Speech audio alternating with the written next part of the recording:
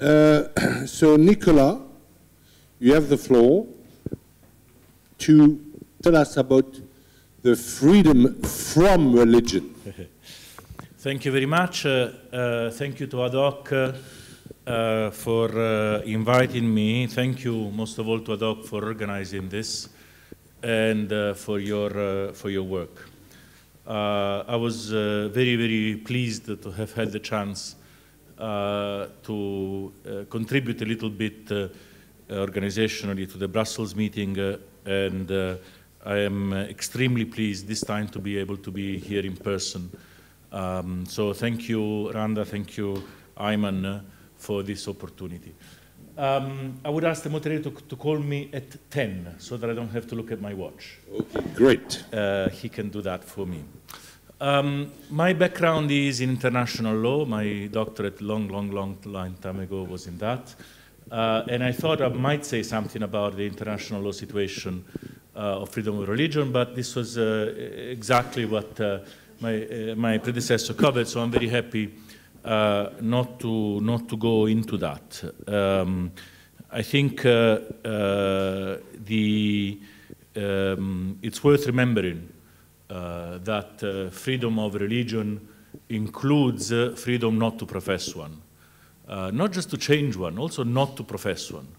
And I think that's something that um, it's relegated to the technical um, to the technical comments made by this or that committee, uh, but I think it's something that is worth bringing back uh, to the fourth of the campaign uh, for human rights. Uh, I have, uh, uh, it's, it's been anticipated, um, I have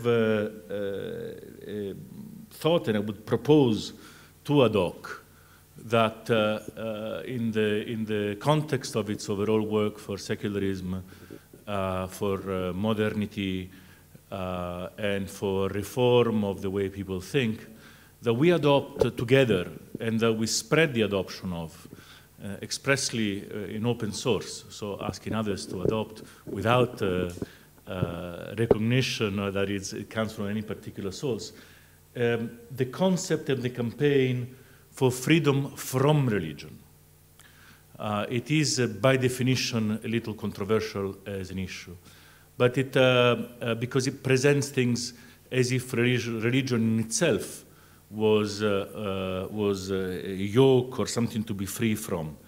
But I think if we, if we are uh, uh, explicit uh, to the risk of seeming extreme, then it, it, it, can contribute to change, to change the narrative a bit. I mean, my it was mentioned, my organization is called No Peace Without Justice. And uh, we work in war zones, and uh, sometimes we have cars, you know, the Jeeps with written No Peace Without Justice on them as we drive along, and people say, What, you're against peace?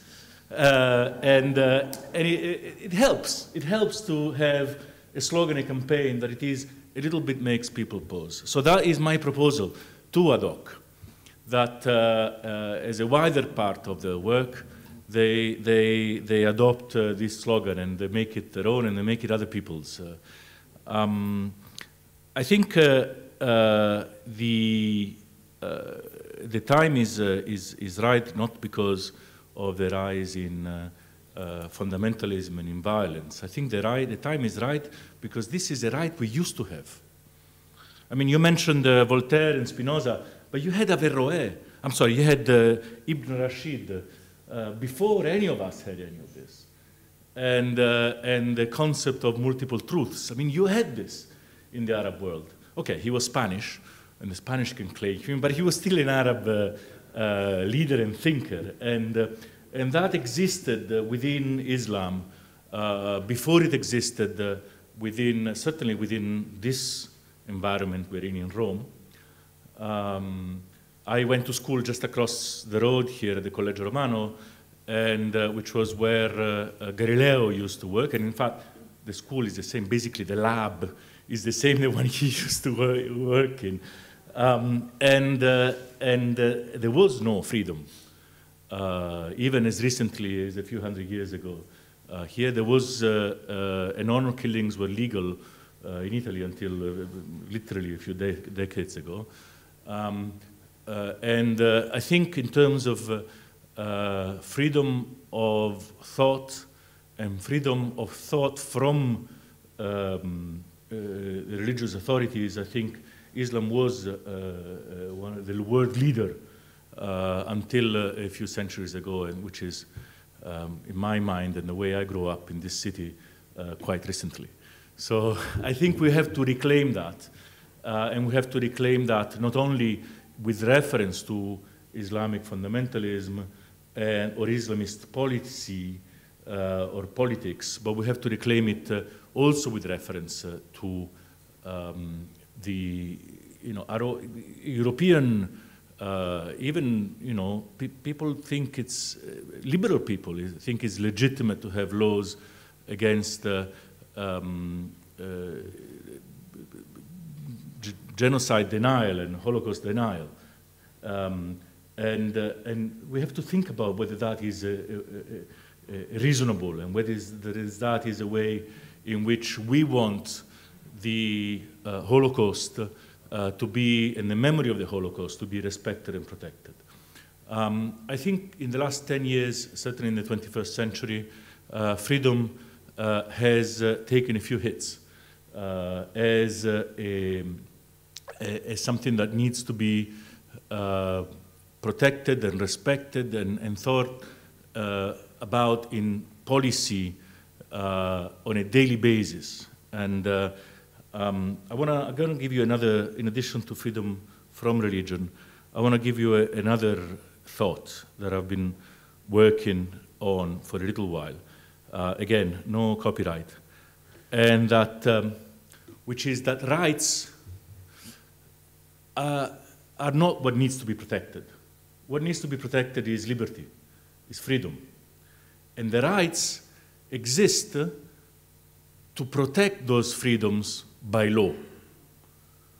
Um, and uh, it's complicated in French because droit and droit are the same word, but I think um, when we think about rights, we have to think about the underpinning freedom. And that's why there is uh, freedom, uh, right to thought, doesn't make any sense. It's freedom of thought, because it's impossible to restrict uh, what people think. But uh, freedom of expression requires a right to free expression. And uh, so as we think about laws and what do they protect, I like very much the idea that blasphemy laws protect ideas and not uh, people, uh, restrict ideas and restrict people. Um, we have to think about what freedoms do, um, do the laws protect by creating a right. Now, I don't think there is a legitimate right not to be offended by other people's thoughts. And because there is no freedom not to be offended. So as we think about laws and what they mean and what they do, I think this is a, it's a useful way of thinking it. And, I, and so I offer it to you um, as also as a campaign idea. Freedoms is what uh, needs to be protected. Rights is the way we protect those freedoms by law. Blasphemy, blasphemy laws neither protect freedoms nor uh, protect any uh, right. So they, they um, I think the, the connection between authoritarianism and, uh, and, and blasphemy is evident where there is only one uh, power, there is an attempt to have only one truth. And, uh, and so it, it, doesn't even require um, uh, the historical evidence, which is yet obvious. Uh, but it, even conceptually, I think this is, uh, this is what needs to be fought, which is only one truth, which is what uh, Averroes or Ibn Rashid, excuse my pronunciation, first said, more than one truth.